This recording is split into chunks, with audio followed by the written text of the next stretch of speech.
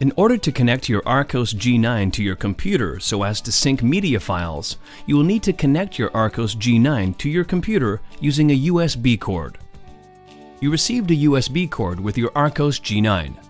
This USB cable can be used for transferring information as well as charging your G9 tablet. You will find the Archos G9 USB port on the left side of the device. The port is next to the power button. You can store media files on your Archos G9 for entertainment whenever you want. You must first connect your Archos G9 with your computer. After a connection has been established, you can drag and drop songs off of your computer onto your Archos G9 manually using your computer.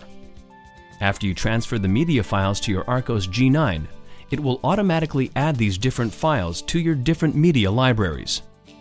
You can access them from the different media applications installed on your Archos G9, from the music or video apps located on the home screen, or from the gallery app located in the Apps tab. If you are having trouble connecting your device to your PC, make sure the USB port is activated and that you are using Windows Media Player 11 or above.